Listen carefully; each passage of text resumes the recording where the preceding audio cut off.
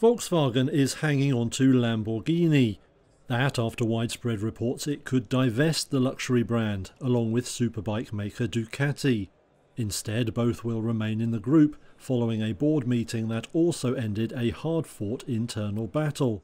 The conflict had pitted Chief Executive Herbert Diess against the company's powerful labour boss, Bernd Osterloh. They had differed over the pace of change required to morph VW into something more like a tech company modelled on Tesla. And it looks like Diess has won. He's secured board backing for measures needed to accelerate expansion into electric vehicles. That includes a newly created technology division. Diess also got allies appointed to key roles but he had to drop demands for an early extension of his contract past 2023, something observers saw as a partial win for Osterloh. To help fund future plans, VW Group aims to cut overhead costs by 5% and procurement costs by 7% over the next two years. Shares in the company rose over 5% following Tuesday's news.